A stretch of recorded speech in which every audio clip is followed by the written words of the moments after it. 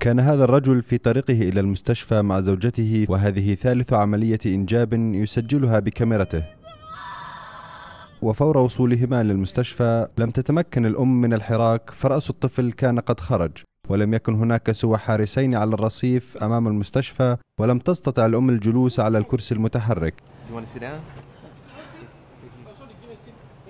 Kristen, don't push yet. Don't push. وبينما كان الأب يصور زوجته خلال الولادة قام بالمساعدة بمسك الطفل بيده ويقول إنه ملم بما عليه القيام به بعد مشاهدة عدة فيديوهات عن الولادة.